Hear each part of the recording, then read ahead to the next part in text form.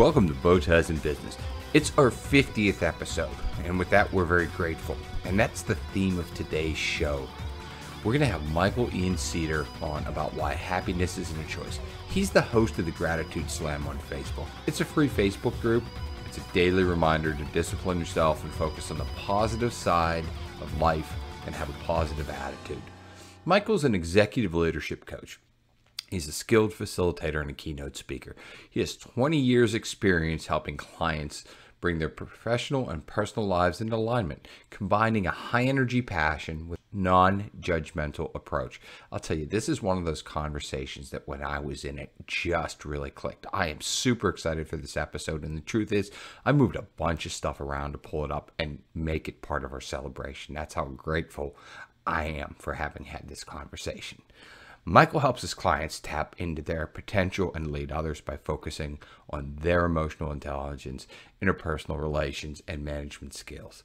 He works with people at all stages of their career. He's got an amazing background in producing events throughout the country as a traveling show manager with theater productions and dance competitions. He works with some entertainment types and Wall Street people really high, powerful, high earners and helps them find their way and happiness in what they do. Speaking of which, every week, salespeople and their managers and business owners, they all stare at their CRM system. They hope they know what's going on in their must win game changing deals. You know the ones, the ones that keep the lights on. Myself and my partner David developed the Red Zone Sales Opportunity Management app. It's helped me transform several businesses that I've run by increasing revenue and driving incremental gross margins. We'd like you to learn about it. So if you take a minute and go to timkubiak.com slash redzone, check out and get to know Red Zone. And if you are interested in buying it, use the discount code BOWTIES at checkout for 20% off. With that, we're back to talking about Michael and the Gratitude Slam. Again, it's a Facebook group. He has a live session at 8.01 every Tuesday morning. And I really enjoy it myself. This is one of those ones that, you know, I love all the people I talk to on the show, but this again is one of the people and one of the conversations that made a difference for me.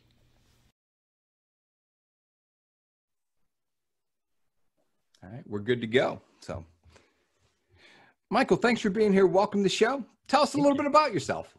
Yeah. Hey, uh, I'm a leadership and life coach, and I run a group on Facebook called the Gratitude Slam, which sounds uh, super like, whoa, that sounds like not for me, maybe. But what it's about is being able to, I help people focus on uh, reality, what is in the present right now, because it's the only place we have to go from. Uh, prior to that, I, um, I mean, I started when I was as a teenager as a uh, bar mitzvah and wedding MC, and I did that for 13 years. Then I moved into managing uh, Broadway tours around the country, bus and truck tours around the country. Then I went into producing um, dance events in 70 cities around the country every single year, hosting 40,000 performers. And it sounds like my resume is all over the place, and it is on paper. But if you actually look at it all, there's everything has one thing in common, and that's I really like creating environments for people to be uninhibited to learn about themselves. Uh, so as far as i'm concerned even when i was um, doing you know bar mitzvah and wedding emceeing those were my original days of coaching. It was just coaching by creating an environment where people can you know not feel scared to be themselves. And that's exactly the work i do now. So what's the greatest story about you have pulling somebody onto the dance floor Oh, pulling somebody on the dance floor. I don't. The most immediate thing that comes to mind is uh, there was one event. It was Princeton, New Jersey, uh, and I there, I knew there was something different about the gig. The the parents were a little like, "Yeah, just just show up. It it'll be fine."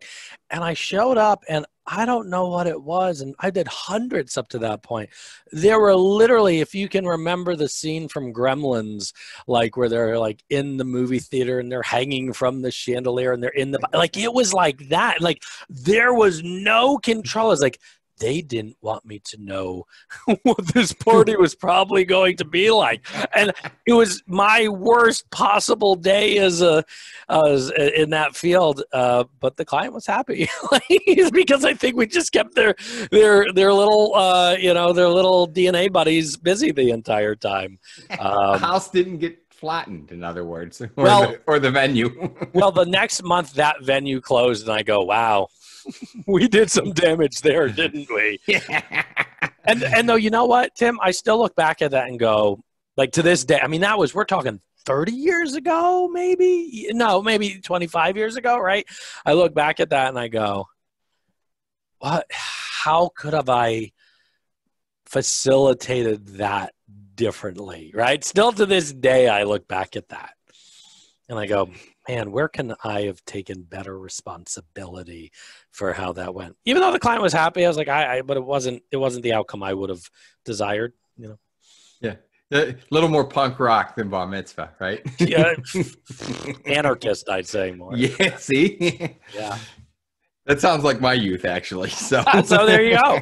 Yeah, because you you like metal, right? Yeah, I, I yeah. grew up in metal and punk clubs. Played in. I started playing in bands when I was 14 with adults. So literally had my dad would drive me to shows and I'd play in places no 14 year old should be. so I love that here you are wearing a bow tie, but knowing you've you've uh, come from the underground, uh, you know, metal scene exactly. But do you still like metal? I do. I still listen to metal. I listen to a lot of European techno and pretty yeah. much anything anything with an edge. I'm a hardcore head guy as well. So oh, neat. Yeah, when I um when I'm feeling low energy, I will totally put on some European techno, and it bothers the heck out of me. But man, does it make my my pupils dilate.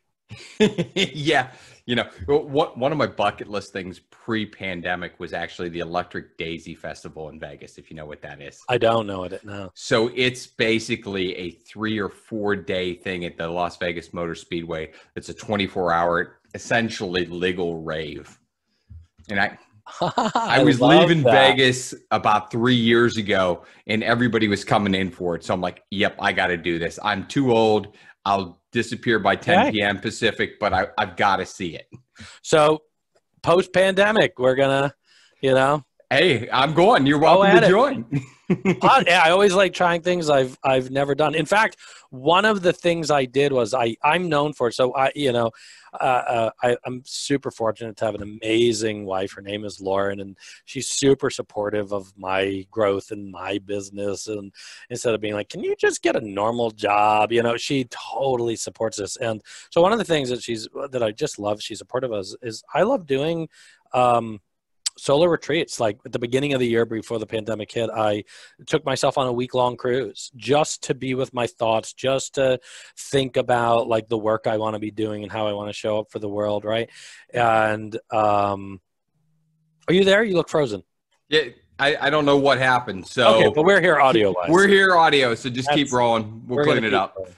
So uh, one of the things I did uh, is I took myself to you know I'm here in New York City and not too far away is Bucks, Pen- Bucks County, Pennsylvania, and it's an interesting place. And I took myself on a multi-day little just um, thinking retreat there to to gather my thoughts, and um, they had a metal concert uh, that was going on one of the nights I was there, and I've never really listened to metal on my own, and I went and I sat and I was like, oh I get it. I feel alive right now because I just was like, let me do something out of my comfort zone, and going there was totally out of my zone. Like I, you know, and and uh, you know, I was dressed up in like a button-down shirt, you know, and and I walked in, people thought I was the waiter, and nice. someone actually ordered a drink with me.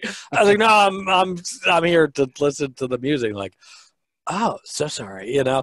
But I just sat there and was like I feel alive, right? And so cool. And I would have never done that if I wasn't like, if I was like, nah, that's not my what I do, you know? Yeah, no, and I agree. You got to try new things. And I love the solo retreat idea, right? Oh, it is. I'd say when I started doing that, my business took off. It just did. You know, I call them man cave retreats, you know, but it, you don't have to be a man to take one. It could be a woe man, you know, cave retreat or whatever you want to name it. But I just, I really believe that um, the work I do is very conscious work, right? It's very being in the present work. And um, I really in order to connect to that i just need to be alone sometimes. And and it's funny because i'm an extrovert. I love people. I love talking. I love but i've got to just be able to sit with my thoughts and just go i have no agenda right now. Just let me be and and and let me read some old journals and diaries or let me read um some books that are on a topic that's important to me, not about the business itself. And then I, and so literally, this is now that I'm saying it out loud, I do have a formula for them, and I've done many of them now over the past probably five or six years. Um, the first half of whatever I do is no agenda of business, just absorbing and and trying to absorb things I normally wouldn't absorb, like metal music. And then the second half is what do I want to give my my energies to over the next year of time? And and I just found it's a beautiful formula. Um, I've made a lot of positive pivots that I probably would have been stuck on the wrong goal too long if I didn't give myself that time. Because otherwise, it's busy, busy, busy, busy, busy, busy, busy. So I, I just it's it's one of my favorite times in the and again having a a partner a wife that's like yeah do it. And guess what? She does them too. She does them with a very different she does them to go for the flow of things to to be able to go shopping alone. Like one day i wake up literally this is this is so funny. This is one of my favorite stories of lauren one day I wake up and I'm like, hey, going in the shower. She goes, hey, um, great. Uh, you know, I'm thinking about booking a trip to London. I go, oh, no, no, no, that's not what she said. She, she wakes up. I wake up. I go, hey, going in the shower. She goes, great. Hey, I think I want to go shopping this weekend. Like, just no agenda shopping. I said, okay. Come out of the shower. She goes, booked it. I go, booked what? She goes, booked a ticket to London. I go, you booked a ticket to London for this weekend? Are you going with anyone? She's like, no, just me. And and and she and and I don't know if she got that from me. I mean, you know, she I was doing those solo retreats first, and she's like, and she was supposed to do one now uh, in the summertime, but of course the pandemic happened. Uh, but she loved it. She loved it, and um, I love that she did it. And we can be supportive of one another doing those kinds of things, and we get to come back to one another stronger and more connected to ourselves, which allows for a really powerful interdependent relationship. That's amazing, and I, I have to ask what was she shopping for in London? You know, so many people. That's generally people's first question. Is like, oh, she must be looking for, uh, you know, beautiful, you know, things that we can't import here. I don't think any. She brought back a lot of stuff. I don't think anything she brought back was over twenty U.S. dollars. She just likes the experience of going to stores that are not here and touching the merchandise and trying it on if it's clothing or and I, say she even brought back more tchotchkes than anything. I mean, we are very big tea. So you're with bow ties. Here's my cup of tea right here. I even have a thermos of tea over here. I have a hole in my office here in Midtown. I just had a client come over, and what we do is we make really nice imported teas and sit there and have tea together and talk about these massive business moves to make right?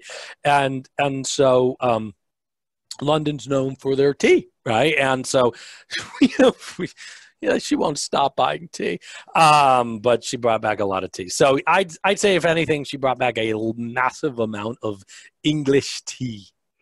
You know what? That's never a bad thing. I'll drink oh. tea. I'm I'm primarily a coffee guy, but good English tea that'll get you a long way in life. Absolutely, absolutely, just fun.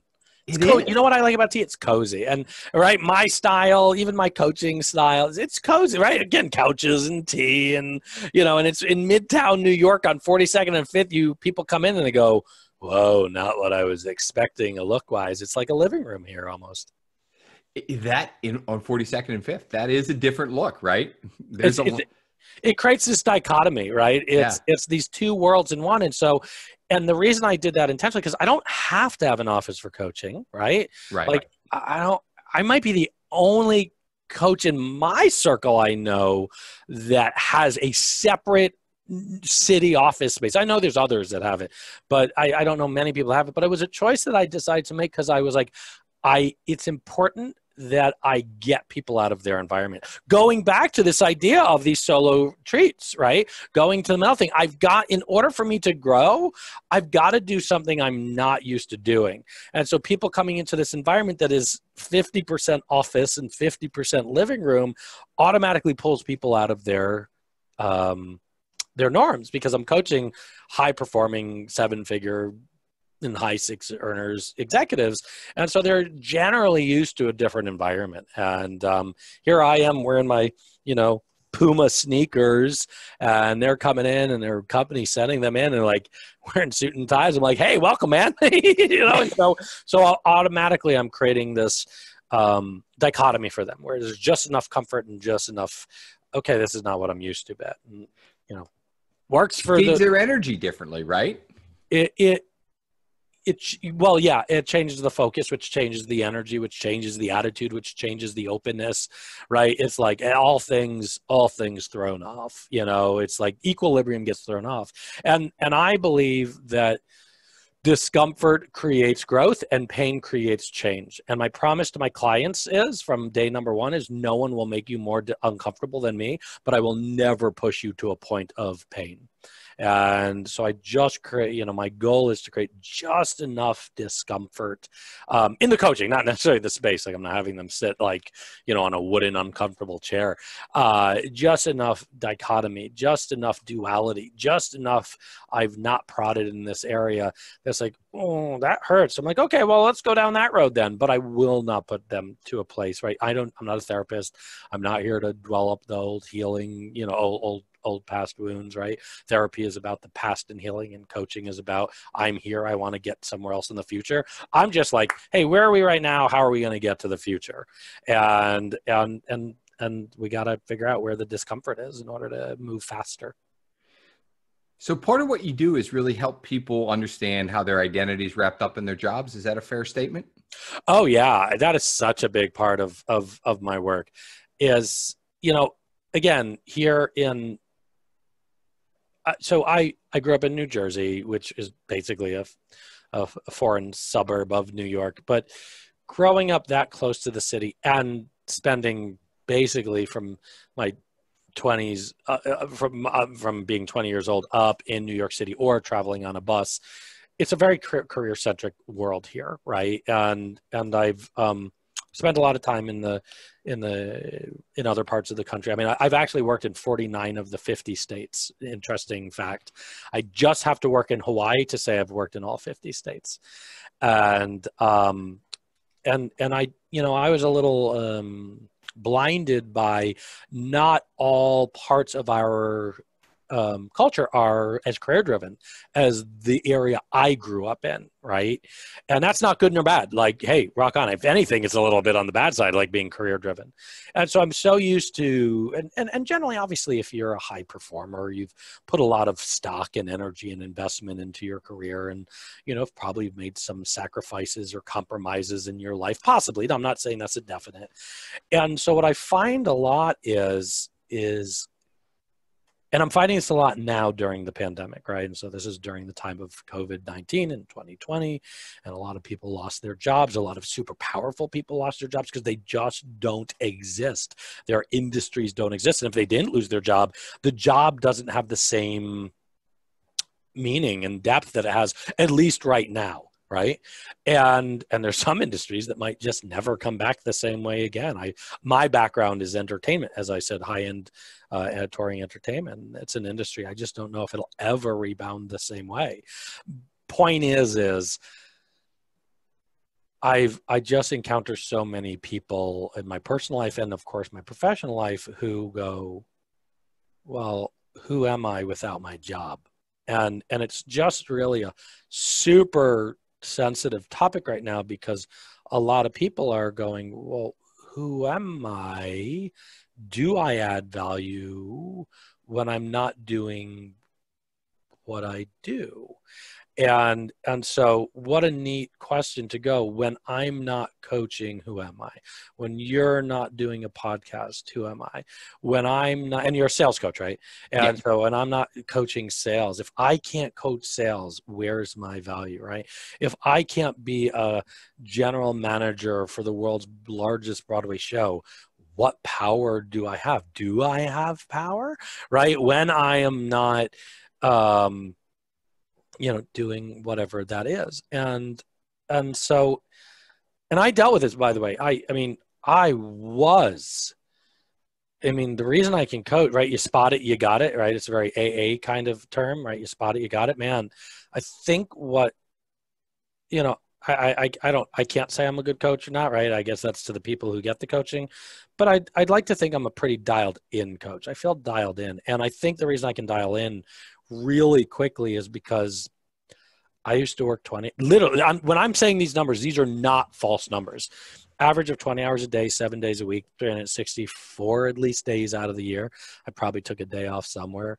Um, would go to the bed, go to the bathroom with the, you know, the portable cell phone, portable phone with the long antennas on it, having fun. Like I would feel guilty not doing work, you know, and and then and then like, man, if the if if my work was on the line, I would panic because who am I without it? So man, if if if anyone can talk to it, it's man, I I was there and I ruined my health, I ruined my relationships, I ruined a first marriage, I ruined every. I mean, just name it, I screwed it up. I mean, take the worst metal song you have, that's probably what I was like. You know, that was me inside.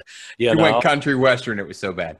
Country western rock metal. Yeah, there was, yeah, it was bad fusion, and it went expired, and you know, and it was like made in somebody's garage pre Steve Jobs Apple computers. You know, and so so I empathize really, really deeply with people who identify with their who who put their value and worth in what they do, right? And then there's some people who go, "Who am I if I don't make a million dollars this year?" And and I mean, man, how many stories?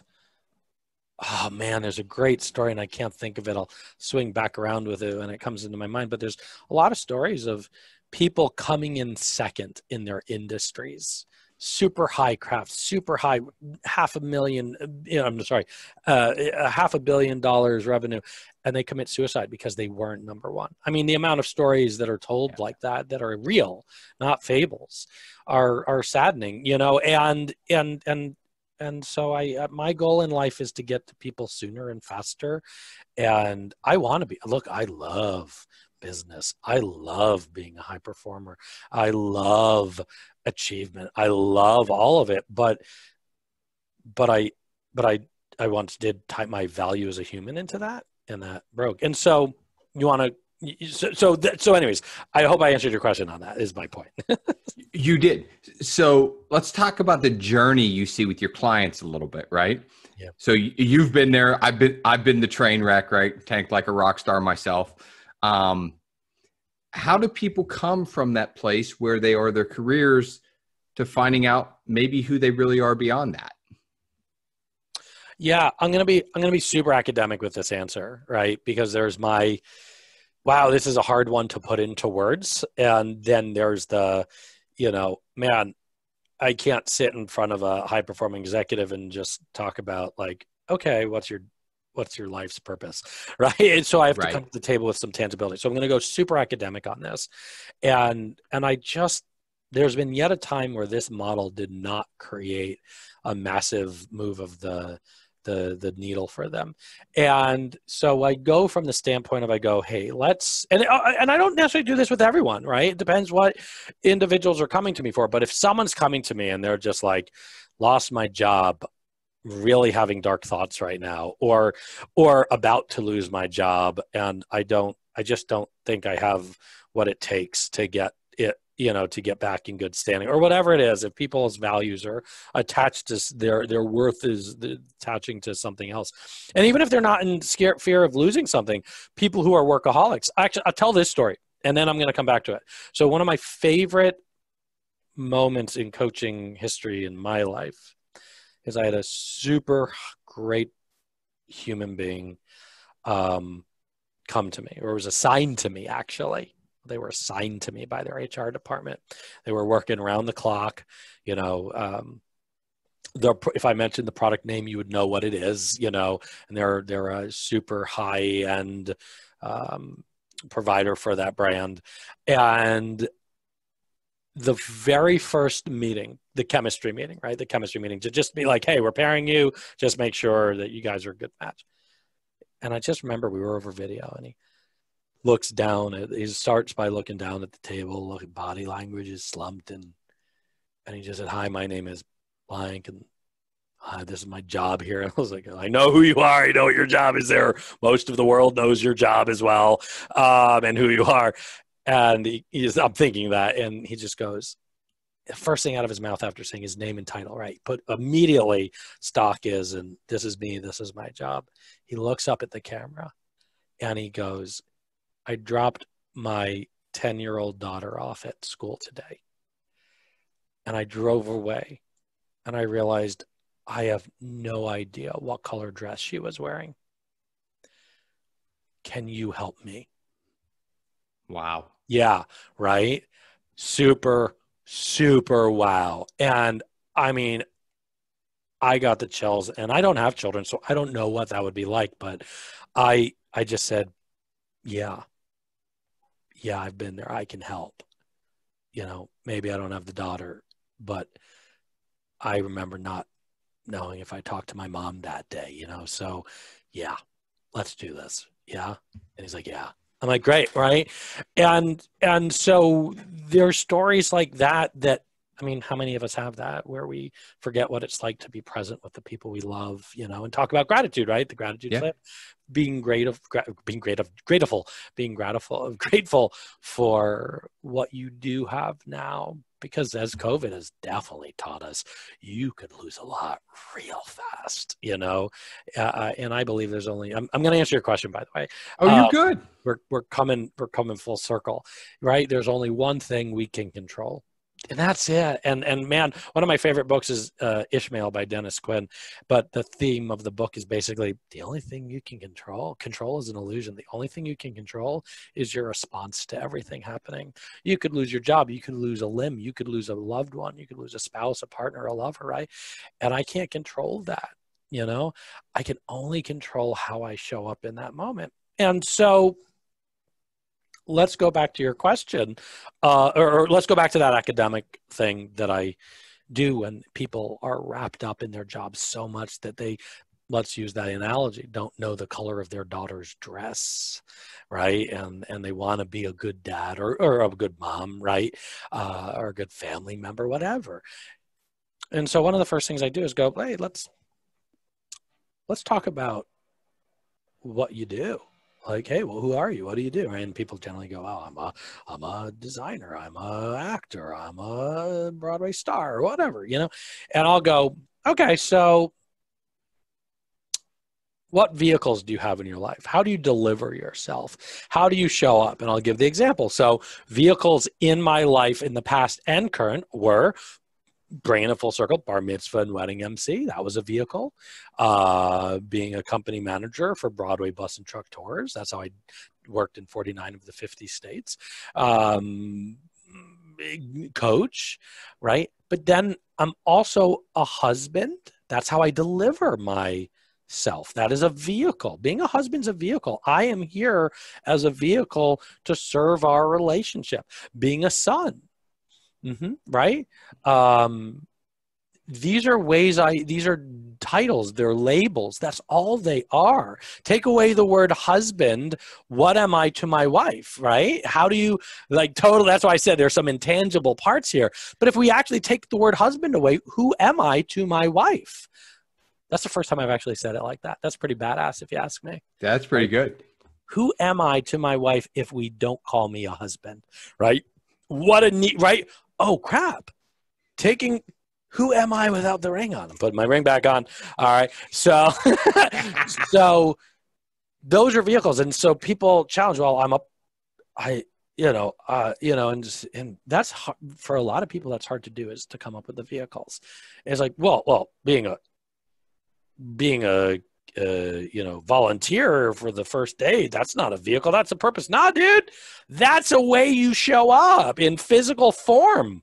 In physical form, it, you have to show up as a vehicle in physical form, and we are in human form. Okay, I don't care what your background is, and anyone's background is in faith. We are in physical form if we're talking, you know, and if we're not, please tell me because I need to learn from you uh, a lot. So those are vehicles. And after we go over the vehicles, I then go, great, what are you passionate about? oh i'm passionate about working i'm passionate about money i'm passionate about you know being top of my industry being number one right and so i hear a lot of that kind of stuff okay i'm not going to take that away from them Okay. What else are we passionate about? Right. Well, I'm passionate about my family. I'm passionate about. And so we just ask these questions, not for any other purpose other than going separating. All right. Your passion is not your vehicle. So for me, right, we talked about it. My passion's tea. I don't make money off of tea. I incorporate it in a way I make money, but I'm also passionate about the TV show West Wing. I don't even, I'm not even a big political guy. I could talk about, I've got the whole series right here on DVD. I don't even own a DVD player anymore. But I don't make any money off of West Wing. Never will, probably. If I do, cool. That was a neat path. But I'm passionate about it. Right? I'm passionate about um, women's rights. I'm very passionate, and it doesn't mean I'm not. I don't care about other rights, but I'm very passionate for different reasons in my upbringing about women's rights. Right? The charity I I donate to is called She's the First. It gets girls in first world country, uh, third world countries, excuse me, to be the first in their entire lineage, to be the first ever to go to high school by either supplying the funds to get them out of the country so they can learn or to build a school in their country right? And so i'm saying that not to be like oh how altruistic but i'm saying it's i'm super passionate about it that i find vehicles that i could that i could use it in. But i don't always make money or show up in the vehicles. You know i guess you could say the vehicle of being a tea drinker but you know it but that is a vehicle i guess to share tea. You know hey how do how do i show up? I serve tea so when I have, then all of a sudden there's this difference of, okay, what I'm passionate about is not necessarily my job. And what a lot of people learn already at this point is, and I'm just using the acting world as an example because it's a perfect example. Oh, you know what? I was passionate about theater and I turned it into a job. And that's why I'm not happy anymore. So already a lot of people start going, oh, I was passionate about making video games. Now, oh, wait a second. And now it's a vehicle. I just liked it when it was a passion. And so already there's that separation, right? So now we're starting to sort of um, move the fascia away from the muscle and the skins, right? You know, if we want to go medical terms. Mm-hmm. So we go passion. And then after passion, I go, I'll literally say, what do you value? What's important to you and no more than one word at a time right? And some people are like i value um integrity. Okay. I value um contact communication. Okay. I value trust. I value this. And it's amazing when people go have you ever worked for someone that doesn't value trust? And they're like oh yeah I'm like, so not everyone shares your same values here. And then I'll pull out a list of values as well. And that doesn't even need to come from the list. And I'll go, let's just list them all. All the things that are super important to you, right? Accomplishment is important, is a value to me, right? It's not how I define myself, but completely now, but I used to. But accomplishment is important to me. I want to know at the end of the day, I actually moved the needle. That's important to me. There's some people could care less about accomplishment. It's not a value to them. Maybe the value to them is, um, flow, right? You know, just moving with the flow of life. Okay, great. Thank God there's multiple people with multiple values. And right? And so now people start to go, okay, there's things that are important to me. And they're like, I'm what's important to me is that I create the next cell phone. No, that's not a value, that's a vehicle. Cell phone creators a vehicle. But if we go and we look at the value, um, the value why is it you want to create a cell phone? Well, I want to be famous. Okay, so fame's a value to you. Okay, sure. I'm not going to take that away from you. Don't think it's a healthy value, but let's go there, you know? And now we have the values. And now I say, okay. Ready? And I'll say, let's take your. Now let's talk about life's purpose. And and just for the sake of simplifying, my take on humanity is on human beings is we all have a life's purpose. All right, let's just go with that. Uh, there's other cultures that'll be like, that's stupid to talk about, whatever, but let's just go with, let's assume we all have a life's purpose. Now, a lot of people get tied up and they'll say, you know, what's your, what do you think your life's purpose is before we go into the, you know, academic part of the exercise more? And they'll say, um, to create the next cell phone. No, that's not a life's purpose. That's a vehicle. Well, to be a good dad or a mom. And I'll be like, um, nope, that's a vehicle of a life's purpose. Well, to raise my children well, nope, still, still a vehicle, right? Uh, you know, and so I go, and I'm like, I, I don't know. And so then we'll say, I'll say, look at that list of values that you listed and write the ones you would die for write the ones that are non-negotiable that if anyone in your life were to breach that value that relationship would be severely damaged and end the way you know it. And so people start going oh so like for me i say now and we we're going to shift words over time in our lives as we find better words or phrases. This is the academic model right? We're ideally we're not designed to know our life's purpose but if we can at least know what true north is that's pretty important. And man do i do, do you know do my bow ties get set on fire when i realize like our education system from kindergarten's not teaching this kind of stuff and i really do want to get into the education system um, because it failed me. The education system did fail me, and that could be a different topic. But um, so values are one of those non-negotiables, and people go like, "Well, I don't know, freedom." Uh, which is mine, right? And and I don't mean freedom like America, freedom, the flag. I mean, if the government said, "Michael, stop coaching," because you're teaching people how to be too autonomous. If you keep coaching that, we will kill you. I'll be like, I better get my workout faster because they're going to kill me, right? So I, I asked the question for you, Tim. What value, what non-negotiable in your life would you die for?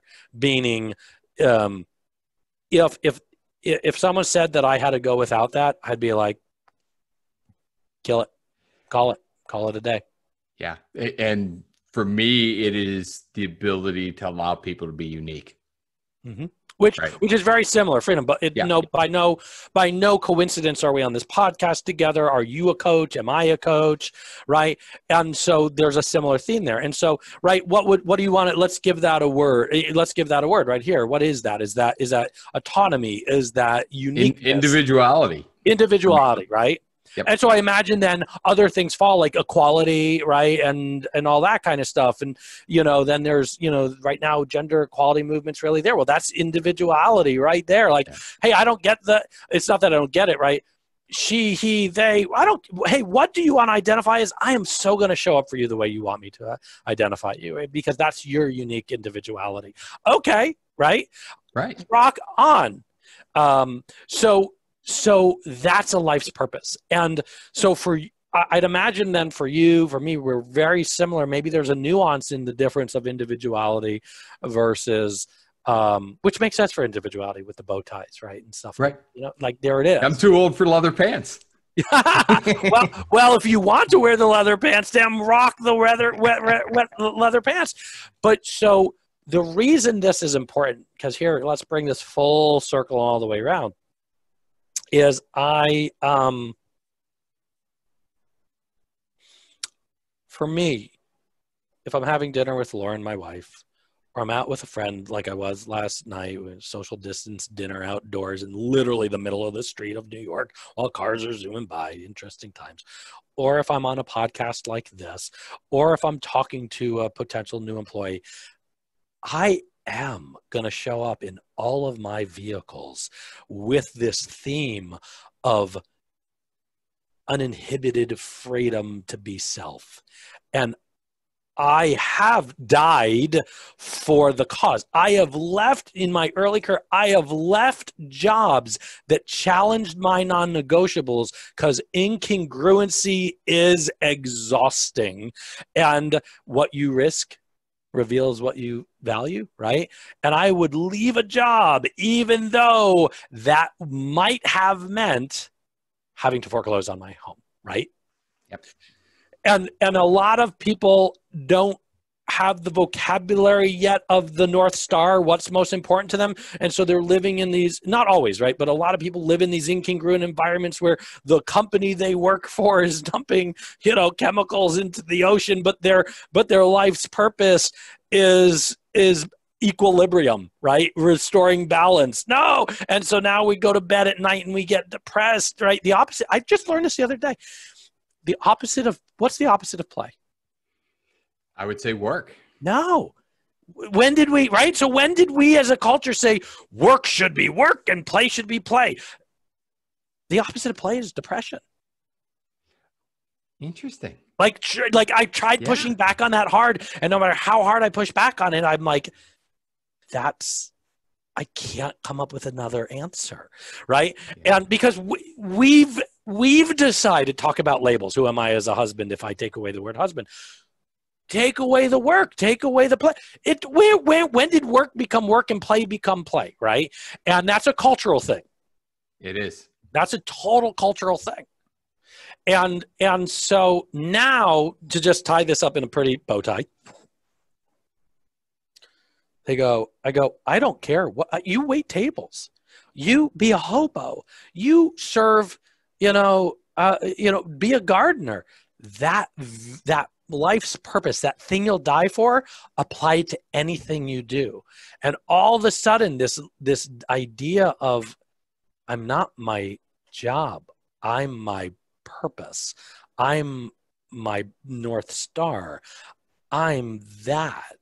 Right. And that's why I say super hard to talk about this topic unless we sort of go through the academic model of it a little bit because the life's purpose is just who I am. And I do look, Carl Jung believes you are born with an innate set of preferences in life. I don't know if you teach Myers Briggs. Not much. Not much. Right. And so Myers Briggs is based off of the work of Carl Gustav, Gustav Carl, you know, Gustav Jung and um, uh, uh, Carl Gustav Jung.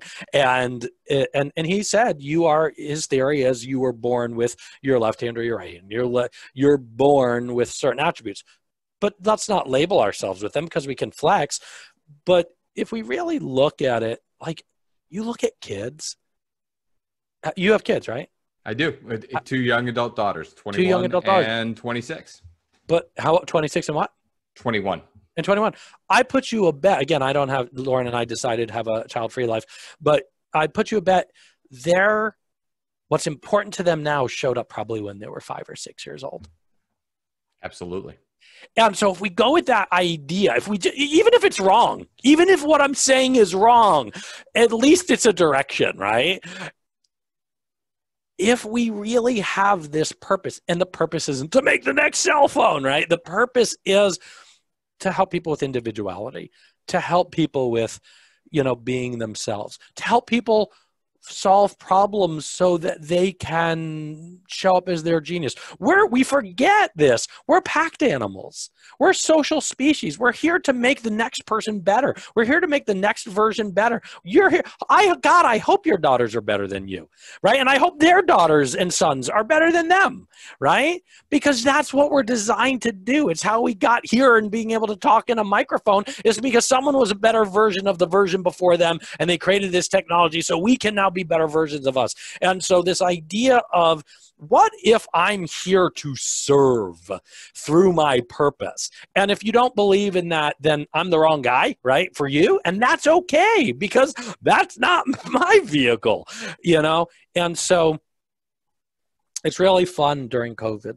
Uh, fun might be the wrong word. Rewarding during COVID, where people's identities have been really darkened, literally, uh, emotionally mm-hmm. darkened, and literally darkened. To have uh, groups of people, because I run this course called uh, through the gratitude slam called Life on Your Terms, and that sounds super selfish, but when you actually look at it, it goes, how do how do you serve your? How do you figure out? Let me rephrase it. You don't create yourself in life, you uncreate yourself as we get older. We remove who we're not. And so life on your terms is about, hey, who am I not? Oh wow. I'm here for individualism. I can show mm-hmm. up as a stranger to somebody in a restaurant and live my life's purpose. Money is just an energy. That's it. Money's an energy. and and the reason i charge for coaching because i would do it for free 24 hours a day is you give me your energy i'll give you mine and so even people like i have some coaches who right in, in corporate world it's most a lot of individuals wouldn't be able to, wouldn't want to pay the money for the coaching.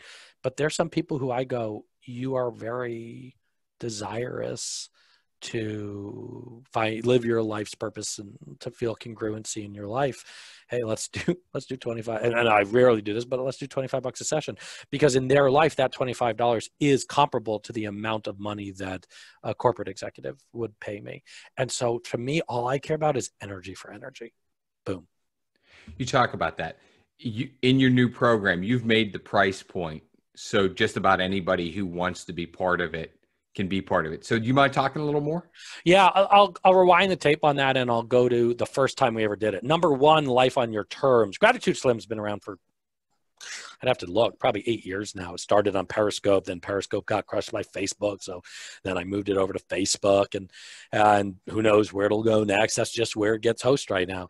Um, and so life on your terms came about. I've always wanted to do something like it. And I was like, oh, I'll do that three to five years from now. But what happened is, as COVID happened, I had super, what I would deem super successful friends come to me and say, I think I need to hire you because I come from entertainment. Um, I don't know what to do next. And I don't know if when the world wakes back up, the same financial compensation will be there on the other side that I'm making now. And I had so many people come to me with this question that I said,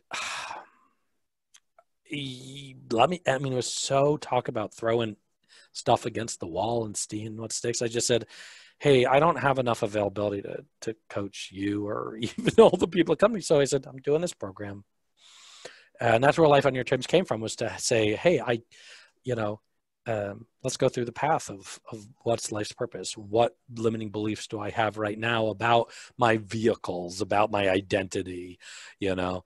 Um, and um, so that's where it came from. And the first time we did it, because I had so many friends in entertainment, some super financially successful and others who were, you know, working their way up and paycheck to paycheck. So we just said, ah, I don't know, let's do pay what you can and and I said ticket price. I think it was two hundred bucks. Pay what you can, and we had. I'm going to round it up. Let's say it was forty people. It was forty people on the first one. I think six people paid under ten dollars, and the rest paid. It was so, now I don't know if it was just because of the first time, and the rest paid what was comparable to where they were in their life. I mean, I I had probably a quarter people pay the full price. I'd say maybe half paid half of full price at like a hundred bucks and then a variation. And so I was like, that's cool. That's is. super cool. What a neat little unexpected social experiment. Now, um, now in these new cohorts we still have now we've just tiered it so we want to make it possible. We have a uh, a, a, low $40 we call it covid relief experience and uh, we made 10 tickets for that and if we need to we'll expand it but you know we just say hey there's 10 tickets available. If you really want this for yourself, please take it, which comes out to $10 a session, which pretty banging if you ask me, right? And and then we have a hundred dollar ticket, then we have a two hundred dollar ticket, and they everyone gets the same service, right? Just the two hundred dollar ticket. I I now say, hey, if you want to do that, you'll get extra um, email coaching with me in between the sessions, you know, just to make their th- that the energy has something. But everyone gets the same education, and everyone knows that there's price points and tiers. Um, hey man, if you want to do this, it's on you. It's that's your character. If you pay forty dollars and you are a, you want to and you know that two hundred dollars would be nothing for you, hey, and I hope by the end, if that's the case, you go Actually, this actually happened, Tim. This actually happened. Someone was halfway through the course and said, Can I pay you more money? I underpaid. And I actually said, That's super sweet. Whatever experience you had that had you learn that, I'd much rather you take that energy, that money that you're willing to pay me to split the difference, and buy a ticket for somebody else so that you pay it forward.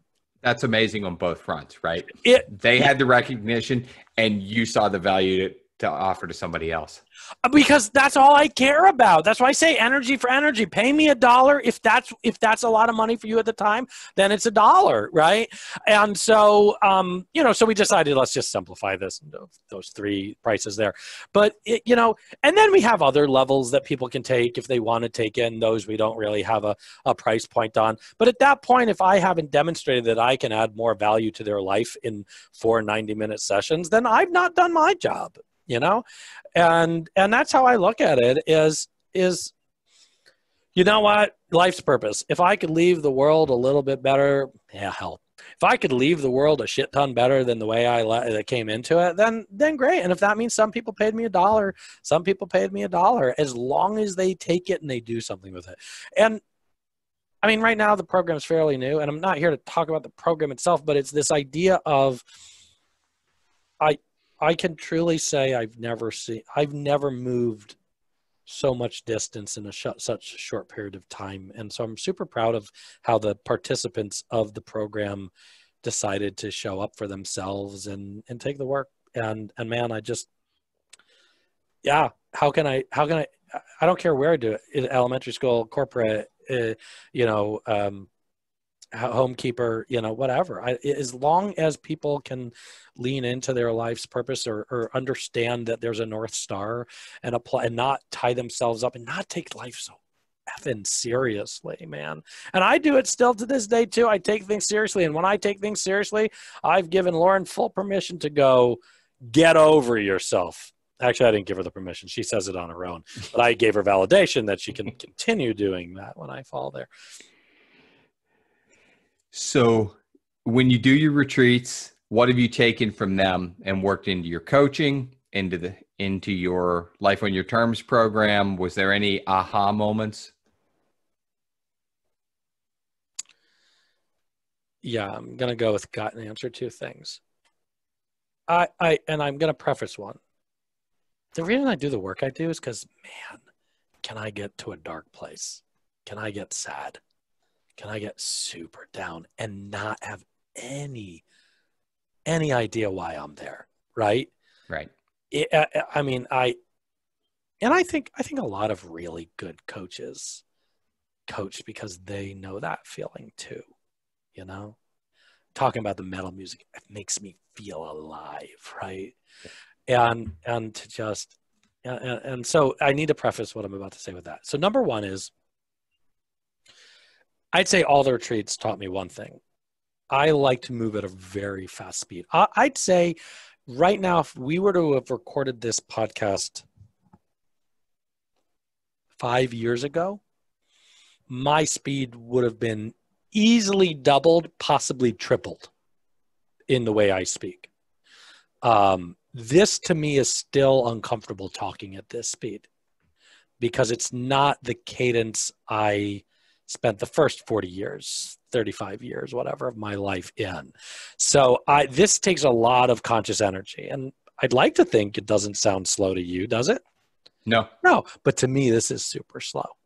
To me this is it's like double and i'm not a big espresso drinker i'm a tea drinker right? But the one time I had espresso, the world couldn't move fast enough for me. Like me speaking like this, I just, my inside just wants to be like, hurry up just get the point out. But i've so so the aha moment of doing the trips was dude don't go any faster than your guardian angel can fly. Slow the f down. You will accomplish more by slowing down than trying to speed up. And so i i'm speaking at this speed now even though it's out of my natural it's more comfortable for me now right right. Way more comfortable but but the voice in my head is like dude you're not speaking fast enough. Like this would be the speed that i probably normally would have spoken at five years ago. I would have been totally here talking like this and and still totally in my zone but i'd be moving a little faster than than than than nature allows me to right? And and so i would make a lot of mistakes and i wouldn't be present. I would be thinking about what i'm going to say next. And what's super fun about talking to you tim as a coach is i feel like we're totally present you know, during this. Yeah. Granted, I'm doing most of the talking, but but I think you're asking me the question. So, uh, so um, number one was slow down, man. Slow down, everyone. Like we don't, we accomplish more the slower we go. It's it's I can't explain it. I can say I'm doing more work in my life. This is going to sound like a total conundrum. I'm probably doing accomplishing more in my life in a given day now than I was 10 years ago in a year. And yet I still have more free time and more bandwidth and margin than I've ever had before. And all of that started when I started doing my solo retreats and slowing the F down. It's a total conundrum. If I say it to someone who's a workaholic, they'll never believe it until until they either want the change or they crash and burn. I, I and maybe there's someone in between that doesn't hear that message who gets it or does hear the message that gets it, but I think you either need to have enough pain in your life that you want to hear it or you have had to crash and burn, which is more pain. I, I just don't know how to uh, you know, I'm not here to teach people who are the workaholic. I'm here to teach people who are the workaholic and they felt the pain and they want to stop. I, I'm not here to point out because who am I to say that they're wrong? Maybe that style works for them. So that's the first thing I got out of it. And the second thing I got out of it was on that January cruise.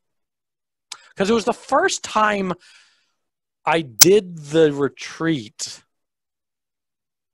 in an isolated environment where I didn't even have cell service. And what I learned was because I made a challenge to myself, I'm not going to think about work until halfway through, which I've always done. But I'm yeah. truly just going to go see the shows, go eat the food. As I'm eating the food, I'm going to taste it. So it was just a new challenge. The challenge was actually the challenge was to be present. Yeah. And I experienced something that ah, it sounds like I'm exaggerating when I say I've never experienced it before. I don't remember a time ever experiencing it. There was a time I remember the exact moment where I was just walking through the halls I felt something. I'm experiencing it now, reliving it. This is fun. It's the first time I've ever experienced it again. So thank you for giving me that platform or that opportunity in that space. Um, and I started to well up. My eyes start to well up, and I realized I'm happy. Yeah, that's yeah. You, you have to give yourself the space. Yeah. You can't feel happiness in the future and you can't feel happiness in the past. And I had to get on an airplane and get on a cruise and say, my challenge to myself is just to feel the wind for a week and to taste the mediocre buffet food for a week, you know, and right. And just to, that was it. I said, my purpose right now, how can I teach it if I can't be present? And I had several moments during the cruise where I was like, I feel happy. And and and man, and since then, and that was just January, by the way, right? Right. And and since then, I can emulate that. Even when I'm sad, I can emulate it because I sit in the present, I feel the sadness, and out of the sadness, the clouds clear. And if I'm just present with the sadness and not try to move past it faster or whatever, yeah, that's it. Dude, this was super fun. This was fun. So, last question What didn't I ask you that I should have? You asked some great questions. Um, what did you ask me that you should have?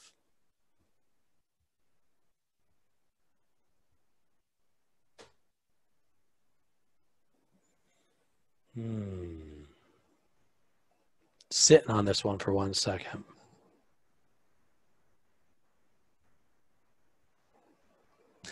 I know this sounds crazy and I'm reverse engineering it because we went through this really fun little rabbit hole. My question, because you know what? It comes back to this is me not deflecting. This is me living in alignment with who I am. My question for you is what do you need now? You know, I, I went on the journey myself. You know, I made the joke earlier about tanking like a rock star, right? I took a job, did 10 years of work in 16 months, burnout, gave up everything, right? And ironically, the metalhead does meditation and yoga. And my yoga practice is actually five years old, five years and two days ago. My meditation practice is about two years old, right? And the truth is, is when I looked at what I was doing, right, in that individuality, and I will t- I will use academic term as well. I grew up with an outsider's view, right? I was the kid whose dad had a college degree and had a white collar job when all the steel mills were shutting down in Pittsburgh, PA. Right. My parents took the trip to New York every year to go to the theater. Right. Mm-hmm. I grew up going to the touring productions, to the symphony, and then going to a college football game. So I had a very bizarre, I thought everybody went to Shakespeare Festival followed by a basketball game. Right. I just thought that was normal. So I always had that outsider's view. And and so part of what drove me to do what I'm doing today was I looked at people, and when you say sales coach, everybody thinks glad handing, type A, overachiever, super driven. And I look, I'm analytical. I'm not I'm not an introvert, but to use musician terms, I was the lead guitarist. I never wanted to be the lead singer, right? I wanted to be able to hide behind six strings and some noise. Um, kind of guy. And I was I'm a good number two guy in a corporate environment. I am not a good number one guy because I'm not that character. And I looked at it and I said, there's a lot of salespeople in the world that aren't being successful, and a lot of business people in the world that aren't being successful because they're trying to force themselves into a mold. So when you talk about what I need, what I need is I find joy, right? And I have those dark spaces too. Mm-hmm. I mm-hmm. find joy when I find that person that has all the talent and has all the ability in the world and just doesn't know it. And that's what feeds me. Well, that's like right Yoda to Luke Skywalker. You like to be Yoda. Yeah. I yeah. love being I'm not even a Star Wars guy, but I love the idea of I don't want to be the, here. And I'm using such right, I got to give credit where credit's due. I learned that analogy um, from Donald Miller who uh, wrote the book Story Brand, I believe it's called. But he says, right, you know, our jobs is you know basically but, but but for me it's it's not what he says now it's me interpreting his his work but it's like i don't want to be the hero i want to be yoda yeah. And I and now now I want to be Yoda to as many people as I can um, because I want to make a lot of Luke Skywalkers. And and I've always I, I've just been lucky that from an early age I can say I just want to help people be extraordinary in their lives. I've always known that. And so it sounds like you're there too, right? You like being the guide mm-hmm. for the hero. So yeah, I love that. So, so you said, so the question is, what do you need? So you said you need to be the guide. That's yeah. what you need. That's what feeds me. Yeah. Well, in a, in a way, well, not in a way, as the podcast host asking me the questions, you're being the guide. You're saying, here's the question how do I get this answer out of you? It's already in you, Luke Skywalker, you know, and and I bring it out. So even though I want to be a guide, you're giving me the space to be my own hero and talk about, you know, a hero for myself. And I get to take that and wrap it back in a bow and go be a guide for somebody else. You know, but but I love that your need is to be the guide. Well, thank you. Cool. this has been a lot of fun. Thanks for spending oh, the time. Thank you, my friend.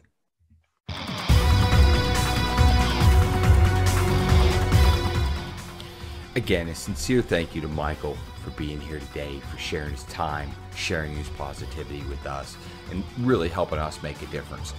It's amazing what he's done, creating programs that allow people at every price point to participate and benefit from them, as well as free.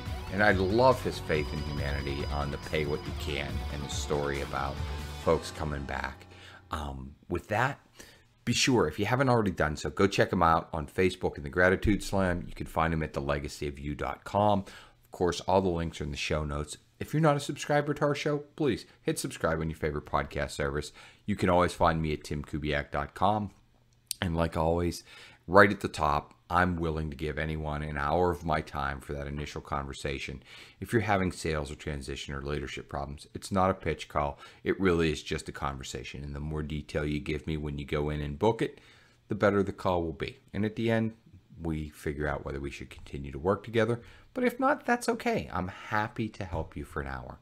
So thanks for listening. We'll talk to you all again next week. Enjoy running your business. Enjoy living your life. And thanks for being here.